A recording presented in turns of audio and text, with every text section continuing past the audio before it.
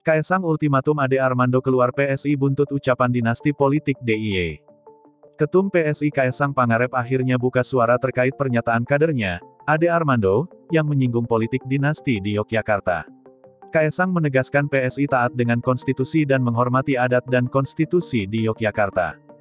Kami dari Partai PSI taat sama konstitusi apalagi yang menyangkut dengan daerah keistimewaan dari daerah istimewa Yogyakarta, ujar Kaisang di salah satu kafe di pusat kota Surabaya, dilansir Detik Jatim, Rabu, tanggal 6 Desember tahun 2023. Kaisang mempersilakan siapa pun kader untuk keluar dari PSI jika tidak bisa mengikuti aturan main di PSI.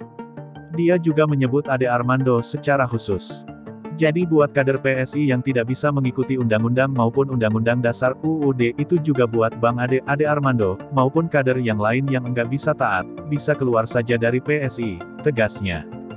Diketahui, Ade Armando sebelumnya menyampaikan kritik kepada para mahasiswa khususnya Badan Eksekutif Mahasiswa, BEM Universitas Indonesia, UI, dan Universitas Gajah Mada UGM, yang menggelar aksi protes terkait politik dinasti.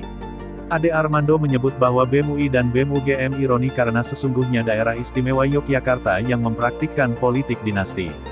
Hal itu disampaikan Ade Armando lewat akun X miliknya.